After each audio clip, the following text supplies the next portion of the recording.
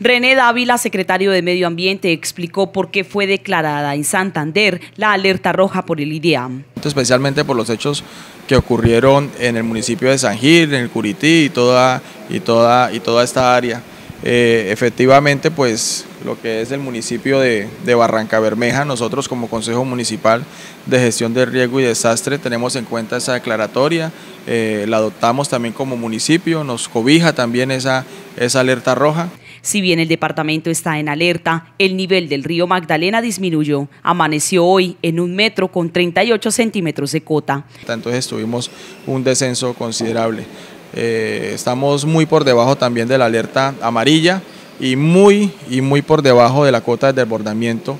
Estamos a 3 metros 12 centímetros de la cota de desbordamiento para el río Magdalena. El río Sogamoso presenta unos vertimientos producto de la represa Topocoro hacia el río Sogamoso, pero unos vertimientos de muy bajo. Autoridades municipales aseguran que están en alerta y que en el puerto petrolero no se han reportado emergencias por los cambios en el fenómeno meteorológico que han producido las precipitaciones de las últimas horas en esta zona del país.